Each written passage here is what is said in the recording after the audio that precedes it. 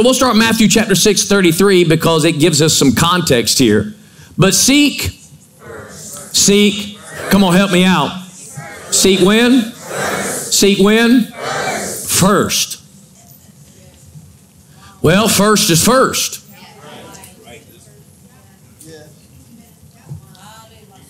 First is first. You can always know where you're at in your relationship with God right there. You can always know where you're at in your relationship with the Father. Is whatever you're in, did you seek first His? Did you seek first His?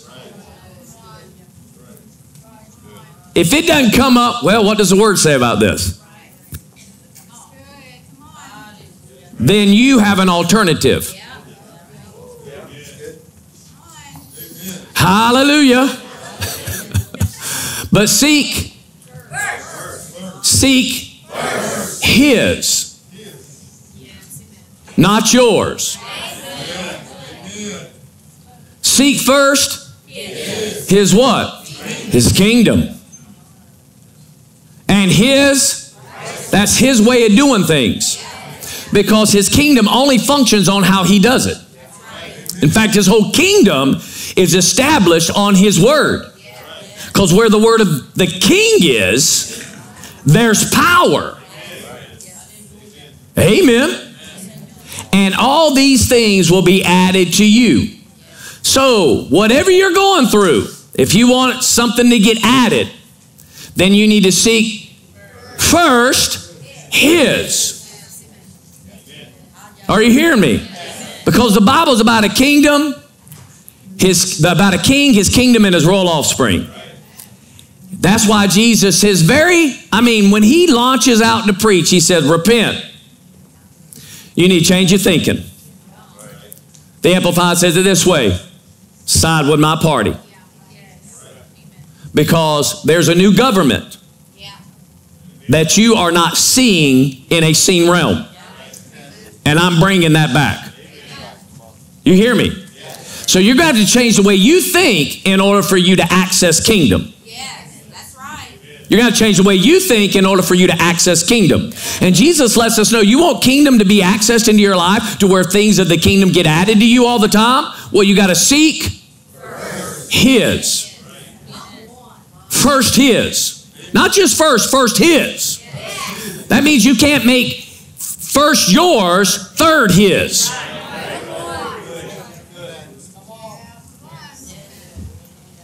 Are you hearing me? now, why does he say that? Because Jesus knew Proverbs 14 12. He knew this verse. And he knew that it was said, There's a way that seems right to a man, but its end is the way of death. And he doesn't want man to be on the path of death anymore. Aren't you glad God doesn't want us on the path of death anymore? But if you're not seeking first His, your first step is in a path of death. So, where's your relationship with God? It's that first step out. And that first step will identify who is in charge.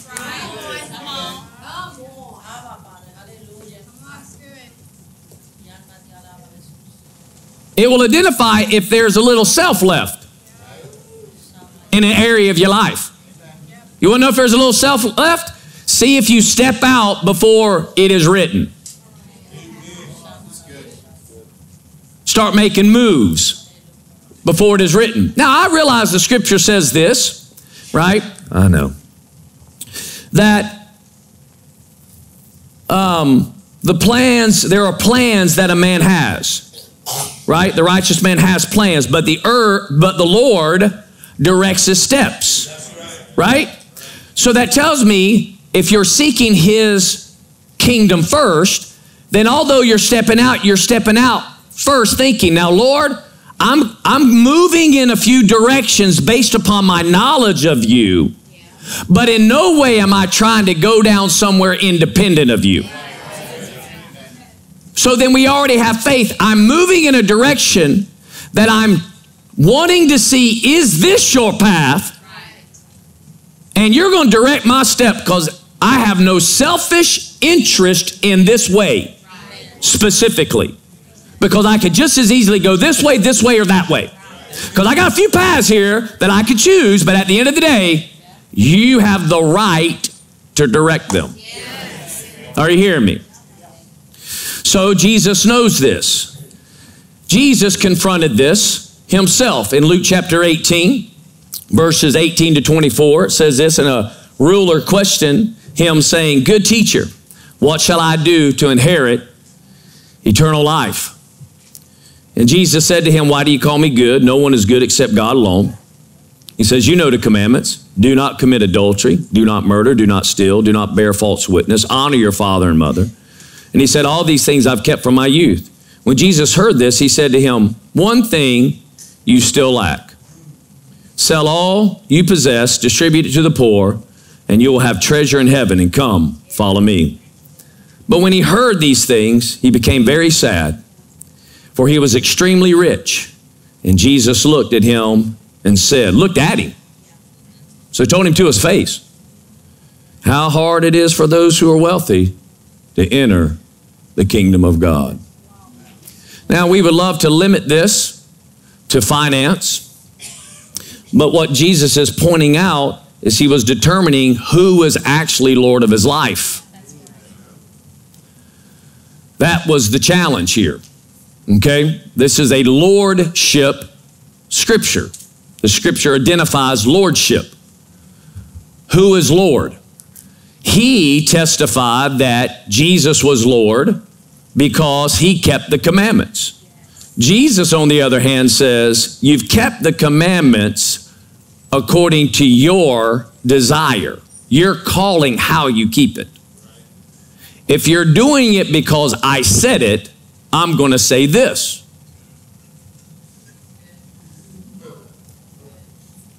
Sell it all.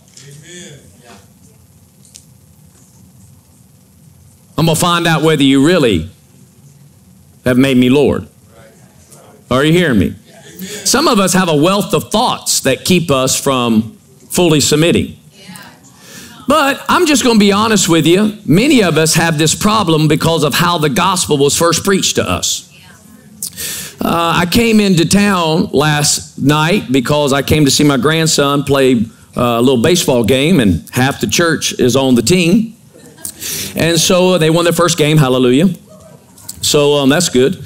Um, but as we were coming, we were dropping off a couple of other grandkids. And when I stopped at the 312 light, US 1 and 312, a guy was standing on a box. He had a megaphone.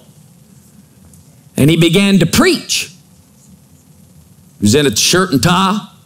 Okay? And he began to say, Can I take a moment of your time while you're at this red light? And I'm listening to this guy. He says, You know, while you're here, I should ask you a question where are you going to go when you die? You have eternal security, right? Because unless you've made Jesus Christ your Lord, you cannot go to heaven. You'll go to hell where there's torment. I mean, he got this message, this, this tree of salvation, the way to enter, down in a red light. And I looked at my wife and said, That's pretty impressive that he was able to articulate a thought within a red light. Now, at the end of the day, I had no problems with that. I'm like, well, he's definitely got him planted a seed of thought. At, at the end of the day, he planted a seed of thought. You know, somebody could, because God's used that thought on us on more than one occasion, right? The, to start knocking at our door to try to let us know life's a little bit bigger than just the time frame you're in. All right, I have no problem with that. I get it, okay? But you understand, the rich young ruler had the same gospel. Because he was only thinking in line to what must I do to have eternal life? He wasn't asking, how do I get the kingdom? Jesus when he presents eternal life, he talks about it from a kingdom perspective. In fact, when he preaches, he says the kingdom of heaven is like this and the kingdom of God is like that. Come on, y'all with me? I mean, let's look at John 3 uh, 3 says this Jesus answered, said, Truly, truly, I say to you, unless one is born again, he cannot see the kingdom. Notice he doesn't say in John 3 3, unless, a one, uh, unless one is born again, he shall not inherit eternal life. Or Jesus doesn't say in John 3 3, truly, truly, I say to you, unless one is born again, he cannot live in heaven forever. He doesn't say that. What he says is, he says, unless you, and I'm out of the New American Standard, guys, not TH, uh, the Passion. He says, truly, truly, I say, unless one is born again, he shall not enter or see the kingdom. Because as long as we have a destination mentality, then we will avoid responsibility. And the minute we reduce Jesus to his saving grace, and I don't want to go to hell, then we won't receive the benefits of a kingdom lifestyle on the earth today. In essence, we will, in all honesty, will want to receive his payment, but we really don't want to follow his bidding until we go to heaven. Okay. I would love to say this isn't true, but unfortunately, there's too many believers that aren't actually following Jesus daily.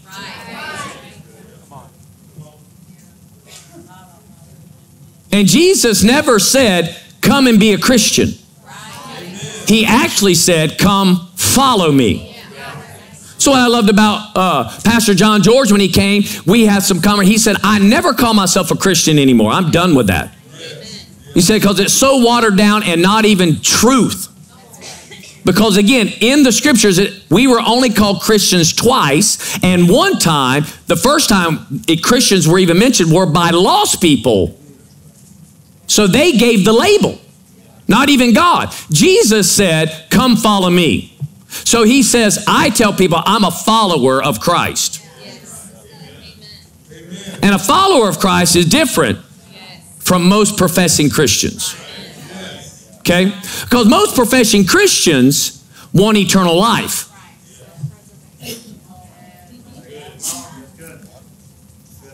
Following is different.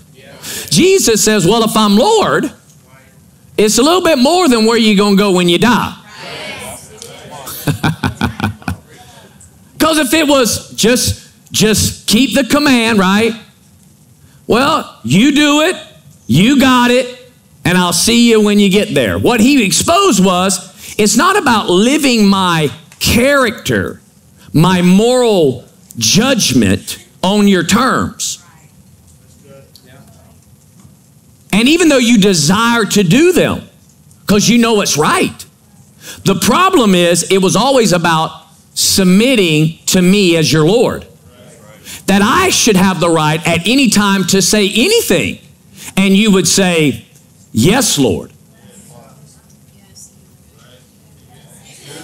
Yes, Lord. Yes, Lord. Yes, Lord. Yes, Lord. Yes, Lord. Yes, Lord. Yes, Lord. Yes, Lord. Because saying Lord has to have following behind it. Because many actually say Lord Jesus, but don't actually treat him as Lord. Now, you know, we've said this in the past. Savior is, is what Jesus did. Lord is who he is. If Adam had never eaten the fruit and sin never entered the world, then Jesus never would have come as a man in the flesh. But Jesus has always been Lord. Jesus in heaven has always been in authority. He's part of the Godhead. He's already exercises authority. He emptied himself of that and became a man because Adam lost the dominion that God gave man in Genesis chapter 1. So Jesus didn't come to restore heaven because Adam wasn't in heaven. He came to restore rulership for man. And at the end of the day, rulership is what you are created for. I said it's what you're created for. To be like God in rulership. And Jesus knows you're not going to be able to rule unless you understand the kingdom. This is not just about eternal life. This is why I've made this statement, and sometimes it gets people very uncomfortable, which I don't understand why, because again, if they just read their Bible, it wouldn't have this problem. But heaven's byproduct of being born again. It's not the goal. It's what happens to you because you're in Christ and your name's been written in the Lamb's Book of Life, and now you're a citizen, right, of God's kingdom. And for a time, you will transfer to heaven. But we will come back, just read the back of the book. Amen. Because, you know, many say, read the back of the book, we win. But they haven't actually read the back of the book, because if they read the back of the book, they'll know we come back. Hallelujah. Amen. And again, God's going to be here. I said, God's going to be here. So, we then need to make sure when we say Lord, we're living Lord and not really living Savior. Because Savior, a lot of times, people who really just love Jesus as Savior make Lordship the option, which then puts a lot of things in question in general. And I'm not here to judge that. God ultimately will. But I can tell you how you can be confident and secure in your salvation is when He's Lord of your life and you actually follow Him while you're here. Amen? How do I know this? Look at Luke chapter 6, verse 46. Y'all doing all right? Luke chapter 6, verse 46 says, Why do you call me, and this is Jesus talking, Lord, Lord, and you do not do what I say? So, what is Jesus doing here? Now, again, I can hear the religious right now. I can hear them. They're like, well, not enough people were born again. They really, I mean, they could say Lord, but he wasn't really. Lord is, is reduced to the following definition that Jesus defined it as. If you're calling me Lord, you'll do what I say. Because he says, Why do you call me Lord, Lord, and do not do what I say? So we could say it this way You call me Lord, Lord, and do what I say. So you can't say I'm Lord and not do what I say. Well, I asked him to come to my heart and save me when I die, go to heaven. But as far as, you know, following the Lord, you know, and, and you know, taking the Bible seriously, I mean, that's a little extreme. Right? You're extreme. I mean, you're like, you don't even you don't even want to make a decision unless you talk to the Lord. Now I'm not talking about what jacket I wore unless the Lord told me don't wear something. And that can happen. The Lord can actually talk to you about your clothes. There's nothing off limits. Amen. At the end of the day, you know, I'm not going in a closet and say, well, what underwear do I put on today, Lord? And it's all spiritual.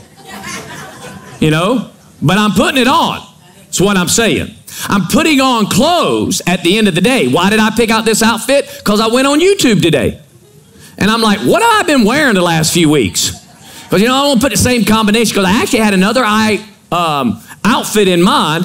And when I went online, I realized I wore that four weeks ago. Same one. So I'm going to mix it up a little bit. I don't remember what combinations I have. I have a hard enough time anyway. I really need mannequins in my closet. So they have pre laid out outfits, right? I, I, you know, we really should have garanimals for adults. Now, some of y'all know what I'm talking about. Some of you have no idea what I'm talking about. So, for those who don't know what I'm talking about, when society was highly challenged in their fashion, there was a company that would try to help you match clothes, especially parents with their kids. And it was all for kids' clothes. And there would be animals on the clothing tags, and if you matched the animals, then basically it matched. It's kind of foolproof. I needed that. I still need that. I still need that. Right? So for me, I go through like uh, my Instagram feed. I always get men's clothing show up, and I'm like, I would wear that. I mean, why? Because they did all the work. But if I walk into Marshalls, it's a nightmare. I mean, there's so many clothes all over the place. Like, I, I mean, said, Did you find anything? Nothing. There's nothing here for me. there's never anything for me. Why? Because I don't know how to piece that with my closet. My wife, she'll come in, pull this and do that. Next thing, she got 10 outfits off of three pieces of clothing. It's amazing.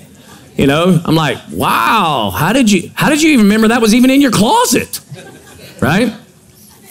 Anyway, Lord is because we follow. And Jesus said, Now some of y'all saying, Lord, Lord, but you're not doing what I say. He goes on and even says this, just so you'll understand what I mean by what he says. because this verse here is much like the rich young ruler. What the rich young ruler boast? He said, I've kept all those commands since I was a child. And you know what? Jesus did not rebuke him and say, You've not honored your mother and father. You've not uh, with, with, uh, held yourself from adultery. You've not not killed. He, she, he never said that. He said, Yeah, but there's one thing you lack. I know you're doing it. I know you're doing those things, but you're not doing them because I say. Okay? So there are things we can do in the name of Jesus from a self and get a result. I'm going to show you in a minute. All right? Look what it says here.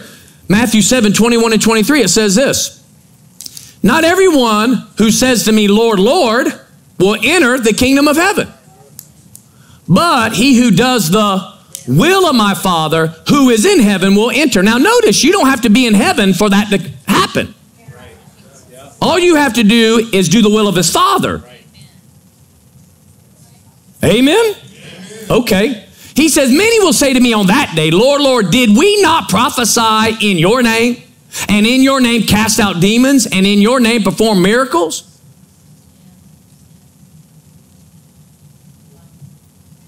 So, why are they prophesying in his name? Why are they casting out devils in his name? Why are they performing miracles? Because Jesus says in 23, and then I will declare to them, I never knew you. Depart from me, you who practice lawlessness. Now, lawlessness is that I don't do what he says, but I'm a believer, I'm saved, and I'm anointed, and I'm gonna work this anointing so that people will notice me.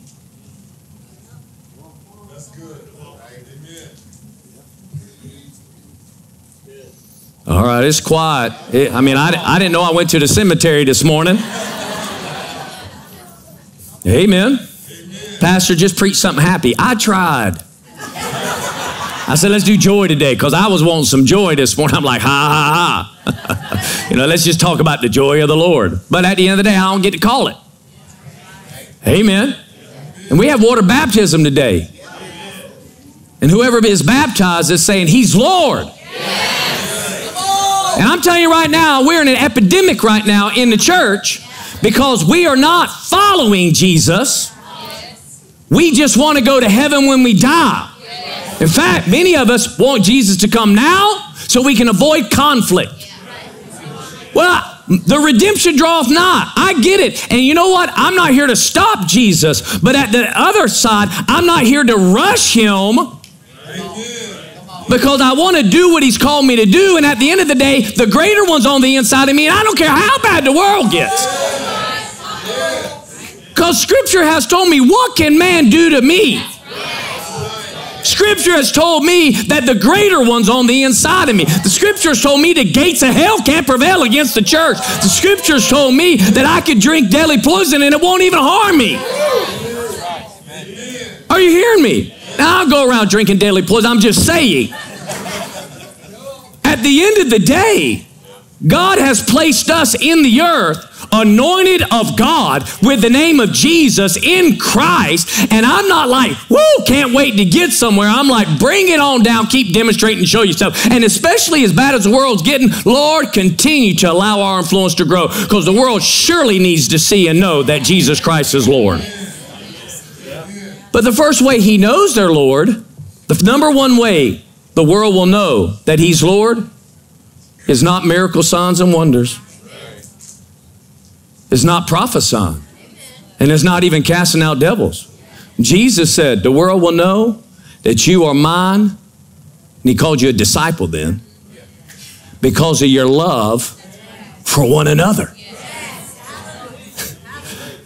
So Jesus like, I got these cats running around in my name prophesying, casting out devils, and performing miracles, but they don't love each other. They don't want to come to church, don't want to submit, they want to have their own personal ministries. Right? They want to get groups over there so they can prophesy. That's called seance.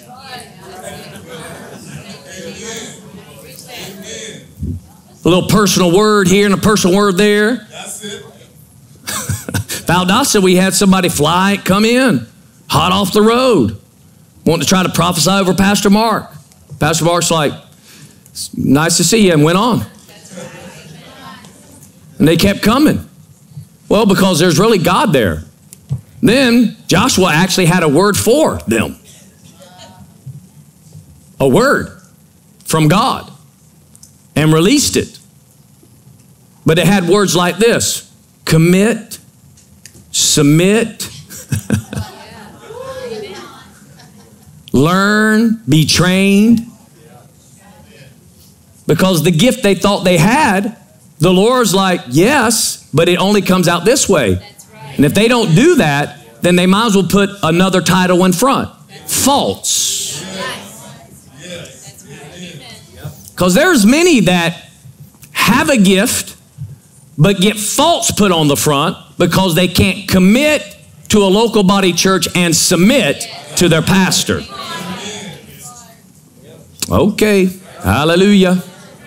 Amen. So Jesus like, I mean, you want the world like just just contagious? I mean, like they're just running to the church? Start loving each other. But yet, what do we typically do? We cry, Where's the miracle sign? We need this so people. No, they just need to walk into an atmosphere of the God kind of love. But the God kind of love in its fullness, that's why Paul kept praying that it would abound more and more. He's like, listen, the only way that it's going to get to its fullness, because again, the whole premise of Ephesians chapter 4, and God gave gifts unto men. That's everybody. Verse 8. Then he jumped to verse 11 and said, And some he gave as, which is the fivefold ministry apostles, prophets, pastors, teachers, and evangelists for the equipping of the saints, for the work of service, to build them up. Why? So they're not tossed to and fro by every wind of doctrine, you know, acting crazy and carnal but they're becoming mature so that they could grow to the fullness and building up the body. Verse 16, in love. Well, love, the God kind of love, is always hindered as long as someone has a selfish ambition, has a personal motivation. When's my time? When am I going to get? How about this? This is not union.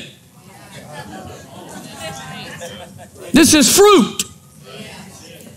I said it's fruit. I cannot tell you how many times I'm like, man, I want to use, and then they blow it. And you're like, ugh. Wow. And there's nothing you can do. They did it themselves. I can't tell you how many times I've considered things and then something happened and they went to. And you're like, man, geez. They're showing they're just not ready. And all the while, you know what the devil does? The devil comes in, he says, Well, they're not going to use you. They won't. No. You have no, you have no idea how many times God brought your name up, but then you. In that place, you have to be different. Yes. Yes. You have to have whipped that to be there. Not every place in the body allows you or affords you certain mistakes. You said that's not true. Some are saying that. I'm glad you said it was. Because at the end of the day, there was this mistake Moses made, and it did not afford him. Because he, he says, Son, you've been face to face with me. And you're going to hit the rock twice and not do what I say. It was a say issue. That was a say issue. Just speak to the rock. Water still came out. Didn't I, in your name, with your staff, strike the rock? Did the water not come out? I didn't say to do that. I said speak to it. And it's cost you now. You don't get to lead them in. I said you don't get to lead them in. So you can't sit here and think that everybody in the body of Christ, we all have equality, but not every fit that we have is equal. In fact, Jesus even said, now those that want to be teachers or called into particular there's there's double honor, but then he says they are judged double as well. Which means, oh, why do I get double now? Why are you doubling up on me? How come I'm getting scrutinized more? How come you're being a double micromanager of everything that I say now? Well, because you're teaching people. Of giving responsibility and access about things that I need to, and if you, I'm holding you accountable. Are you hearing me? So you got to get rid of it. So acknowledging God only with our lips and not with our lives have dangerous consequences. Dangerous, right? The Lord is to be followed, not just acknowledged.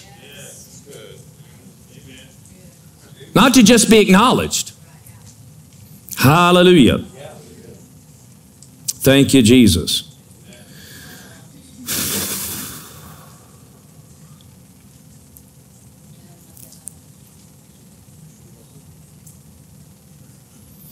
How do we avoid this encounter with God? Well, it's how we got in. It's the answer.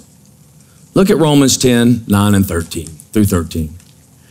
He said that if you confess with your mouth Jesus as, wow, I am in a cemetery. That if you confess with your mouth Jesus as, and believe in your heart that God raised him from the dead, you will be. So you're not saved if he's not Lord.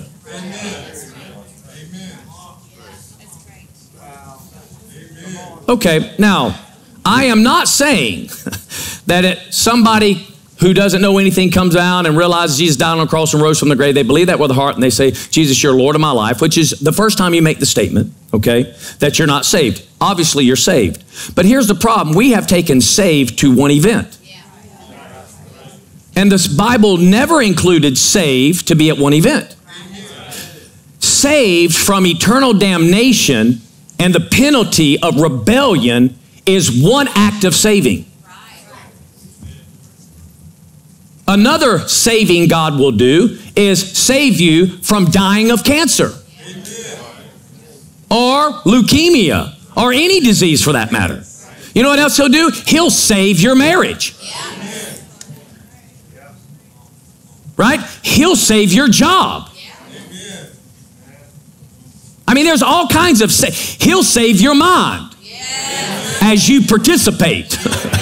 Because there's a saving of the soul, and you have to participate, but he'll save it. Are you hearing me? So, again, what this is saying is if we confess with our mouth, this is not a one time event. If we confess with our mouth Jesus as Lord, believe in our heart that God raised him from the dead, you will be saved. That principle applies always. That if I'll confess Jesus as Lord, you're Lord of my situation, and confess means supreme in authority. Okay? It's a supreme in authority. That's what Lord means, supreme in authority. So this statement, confess with your mouth, literally means make a covenant with your mouth that Jesus is supreme in authority. It makes a covenant. Now, we'll have to explain covenant here in a minute, okay? But it means you're establishing that He's supreme in authority, and you believe because of His death, burial, and resurrection, then no matter what I face, He has an answer to save me in it. Because He'll save me from all my trouble. You don't have just one trouble. Well, I'm going to go to hell when I die. That's one trouble. No, you ain't got just one. There's a lot of trouble out there. And the good news is you can overcome them all. But you're not if he's not supreme in authority on how you move towards it, because he's the righteousness of that situation. He goes on and says, For with the heart a person believes, resulting in righteousness, and with the mouth he, mouth he confesses, resulting in salvation. For the scripture says, Who believes in him will not be disappointed, for there is no distinction between Jew or Greek, right? For he's the same Lord, he's the same Lord, he's the same Lord. For the same Lord is Lord of all, abounding in riches for all who call on him. For whoever will call on the name of the Lord will be saved. And there's not a situation I get in because he is Lord of my life that I can't call on his name and he saved me. I said he saves me. And man, I'm in situations. I mean, so, most I don't even, the majority of situations I get in are never self inflicted. They're externally coming towards me. And then part of it's just under shepherd of his church. I'm the guy in the earth that's helping God build his church. So there's things that come against his church. And he said, now listen, they're going to hate you because they hated me. So again, it's nothing personal. They're really after Jesus, even though they're using my name. you really have a problem with Jesus, not me. Okay, even though you're using my name. So, if you make a covenant with your mouth that Jesus is supreme in authority, okay? Now, covenant, um, let me say it this way we have the Old Testament and the New Testament, right? Okay, that's typically how it is in the Bible. Now, for all of us, testament would be a witness, right? And that's typically how we, you know, structure that. There's an Old Testament and then there's a New Testament, you know, or New Testimony or whatever. But actually, it's really Old Covenant and New Covenant. So what we've done is we've forgotten that this is covenant and we act like it's testimony. Well, I'm in the New Testimony. Right? Well, testament is what was written out that's new and better than the old. And it's covenant. Now, here's the thing about covenant covenant is a legal binding agreement between two parties. Now, the minute I say legal, that becomes a buzzword for people. Oh, it's legalism. He's talking legalism. That's not the love of God. That is not the love of God. You know, under the law, you're under the law, you're under the law. Okay. Gotcha. So I'm going to give you a case in point.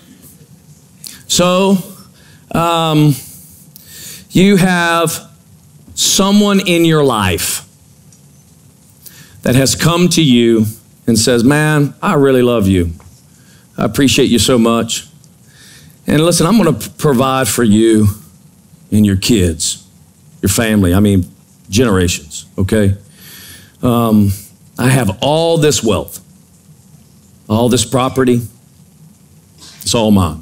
And you're like, well, you know that they have all of it. You know, we can name some names right now and y'all would think, yeah, they're billionaires, right? You would say that. Have all this.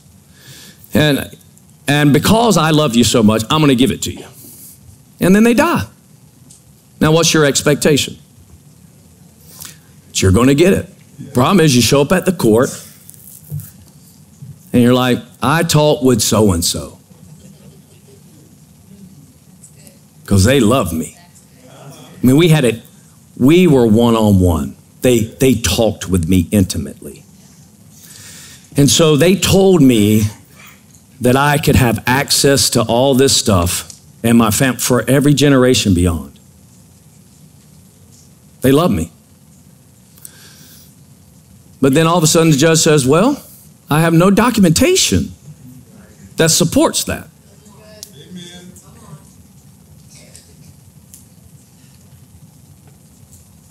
It's amazing how we want to say God's love is without documentation. In fact, what you would do is you would go to the grave and you would look at the grave and say, You didn't love me because you didn't put none of it in writing. Nobody even knows we had that conversation, and I can't even access it. Oh, no. I can't even get none of it. I mean, you talk, but who know? No one knows. But if they pull it out and says, well, it's right here in writing, then you're like, man, they love me so much, they made sure I would get it. Then you're glad it was legal. All of a sudden, now we're glad it's legal. Come on, I can have access. Can you put that in writing? Are you hearing me? I mean, how many of you would go to a home and someone says, You can have it, it's yours? Oh, great. Well, we got any document? No, no, you got my word. Uh, write it. See, even Jesus said, Now listen, I'm going to give you my word, but I'm going to write it down. Oh, because it's legal and binding. Because this covenant that you and I are in, not only do you hear it in your spirit that God said, but then you read it and you get to declare it.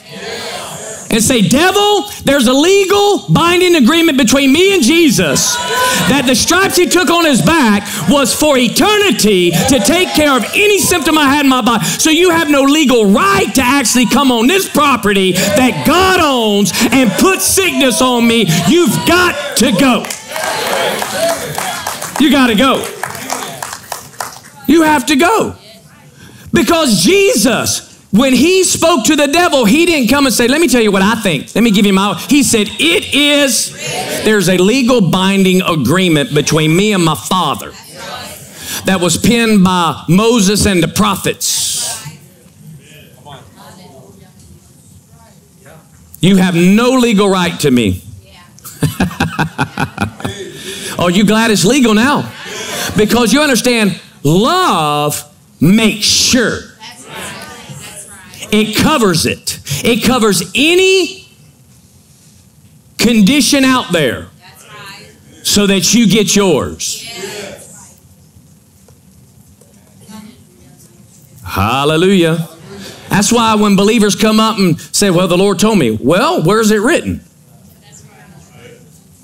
Because if it's not in the Word, then it's not legal and binding. You got nothing to stand on. Amen. I said, Amen. And we're not getting into the fight right because we need to realize it's not about going to heaven anyway, it's about becoming children of God. See, Lord means supreme in authority. It means to whom a person or thing belongs, about which he has power of deciding master or Lord. So it's not a problem for me because Jesus is not a dictator. Jesus is the embodiment of selflessness. That when he called me to himself, he says, I know more about you than you know about you, and I want to release you. In fact, Pastor Roddy said it like this in Kingdom Rise When Jesus brought you to him, he introduced you to you. Because up to this point, you didn't know who you were. You didn't realize you were to have dominion. You didn't realize that you were created, you were to be created in the image of God, and you were to be like God, and you were able to, you were to rule like God, and you were to take dominion like God, and you were to be God's child and God's son, and it gave you privilege and authority and power over all the works of the devil. He's like, come on into the house. Let me introduce you to yourself. Let me introduce you to yourself. As long as I'm Lord, I'll continue to show you who you are. Because if you'll submit to Him, all you're doing is finding yourself.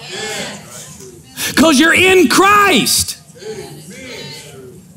That's why Luke tells us that it, it's God's good pleasure to give us the kingdom. Why? Because he's like, I'm the king of kings, and you're the small king that yields to me because what I say is love and life, and it pulls who you are out. Your purpose, your destiny, everything. All you got to do is let me be Lord. And Lord is you do what I say.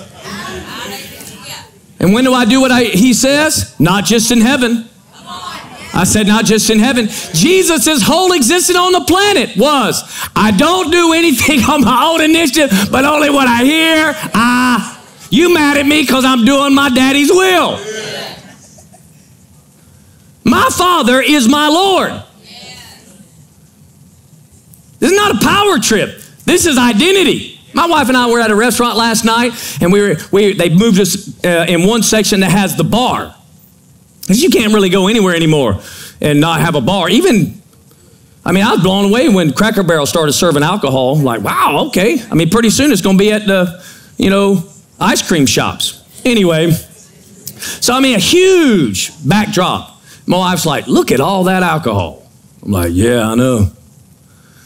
She goes, wow. That's a lot of alcohol. I said, Yeah, that's a lot of alcohol. I said, You know, and nobody's drinking it because it tastes good. Now, you can make a drink and then put a little bit in it and it mask it so it tastes good, like you coffee drinkers that put all that junk in it. right? I get that. But I'm talking about alcohol itself. It's not good unless you train yourself to acquire a taste. Which tells me, how does alcohol even sell then? Because it doesn't taste good. Beer, whiskey, none of it. I drank once, I know it doesn't at all. It's image. Just look at all the commercials. They're selling image. And I told my wife, I said, and Christians that drink have an identity problem. Because there's only one reason why they're drinking, socially, that is. It's because they're trying to look cool. I mean, the, the, the, the world doesn't show you the drunkard. I mean, they'll show it in movies. And then we've like made it normal, like it's okay that a man would get drunk and beat on his wife. And even though they can show us images of what alcohol really does, like the homeless problem, I'm not gonna lie, I'm gonna buy beer. Okay, then I'm not gonna lie, I'm not gonna help you.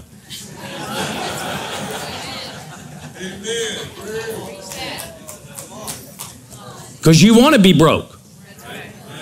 You want to be like that. Hallelujah. It's image. Got the little glasses, the little cocktails, the little pinkies out. Trying to act all cool. It's because they don't know who they are in Christ. When you know who you are in Christ, then the new wine blows it all away. I mean, it's amazing. You're like, I know who I am. And there ain't nothing else going to identify me. Nothing. Nothing's going to identify me. Are you hearing me? So is he still Lord of your life? Or have you reduced him to the God you are aware of in life? Now, how do you know that? Do you seek first his? See, when God ceases to be Lord God, and let me tell you, there's not a person in this room that hasn't had that issue after you ask Jesus to be Lord of your life. There's not a person in this room that hasn't had that problem. How do I know? Because when God ceases to be the Lord God, then obeying His word becomes optional.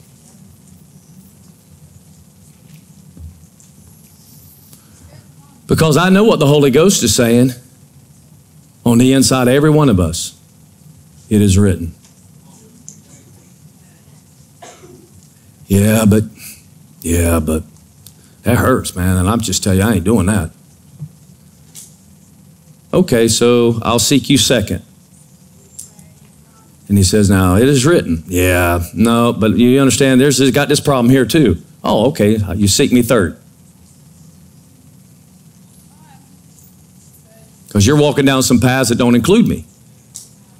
If you just keep going, it's going to not end up, it's going to end up a little bit different than you're thinking right now. Because I'm supposed to be Lord. What would it look like if a whole congregation actually obeyed God now. It's yet to be seen.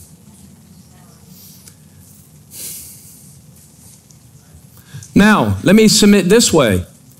A congregation that does it doesn't mean everyone will be spiritually mature. And it doesn't mean that there won't be some layers of carnality or babes in Christ.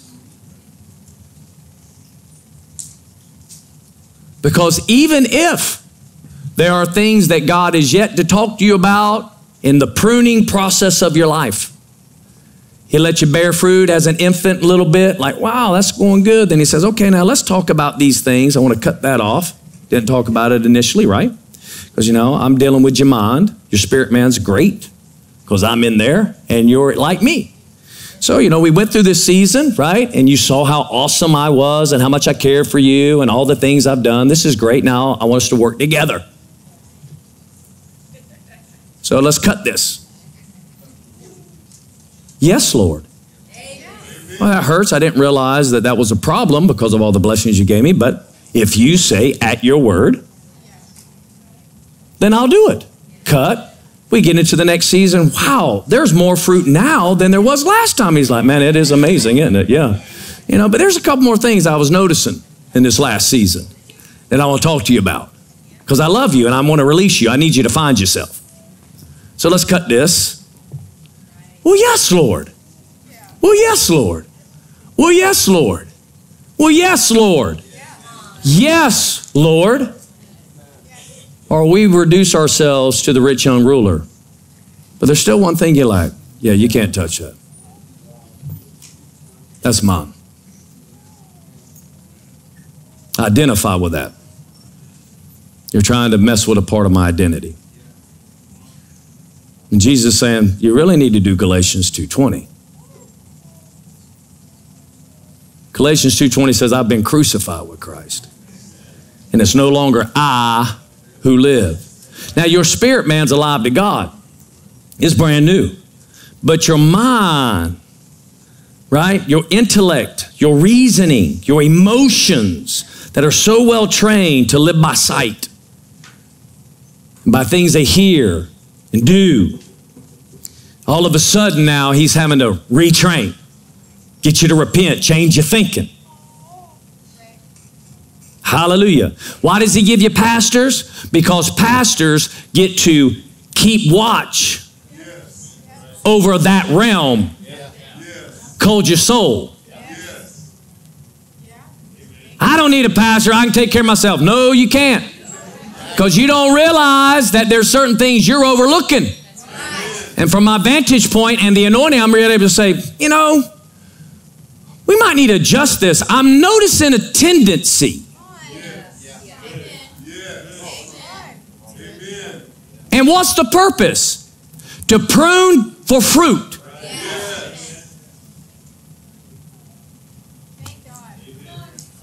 And we already do this in our regular sectors of society. We let education do it to our kids and ourselves because if any of you went back to college, they would tell you do this, do this, do this.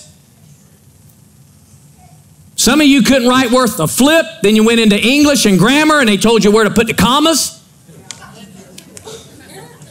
Right? And you're like, well, I wouldn't have done that. Are you saying my writing's no good? Yeah, it stinks, but we can improve it. So then you subject yourself to their instruction and correction. We do it in sports.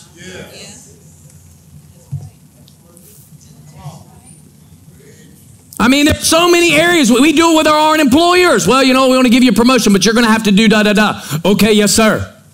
Yes, ma'am. Wow. Well, money talks, doesn't it? Yeah. When he's Lord, yeah. you bet he will. And he does for most. Yeah. And most Christians. Because they just want to go to heaven when they die. Following God is not the purpose down here.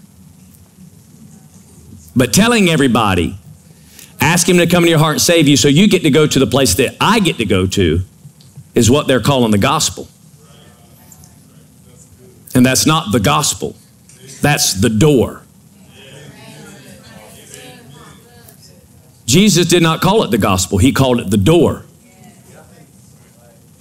I said he called it the door. All right.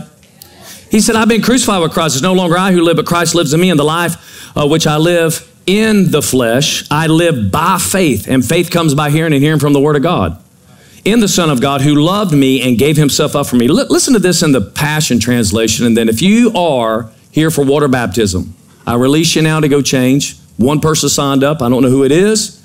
But, and now if you're like, Pastor Earl, I want to do it. I didn't sign up, but I'm, I'm going to do that today. I just didn't let you know. Then go leave if you got something to change into and come back because I want to do water baptism, okay?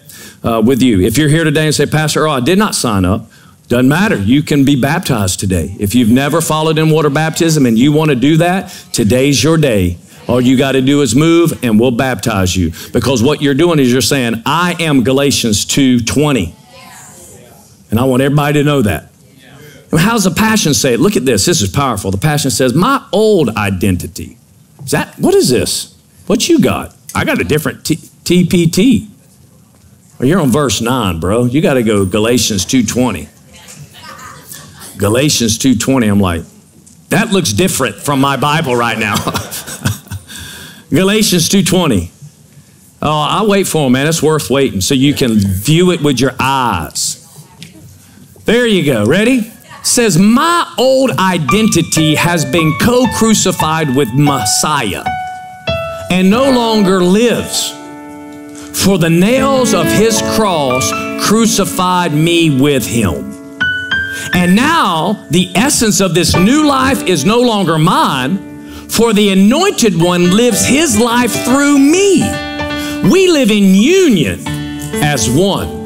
My new life is empowered by the faith of the Son of God who loves me so much that he gave himself for me and dispensed his life into mine. Is he Lord? Is he Lord? I said, Is he Lord? Do we seek first?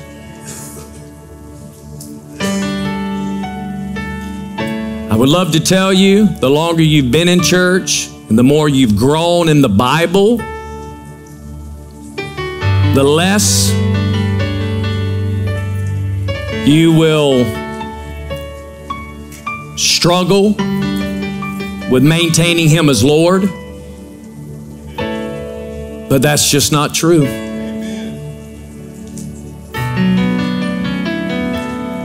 It's got to be a constant decision daily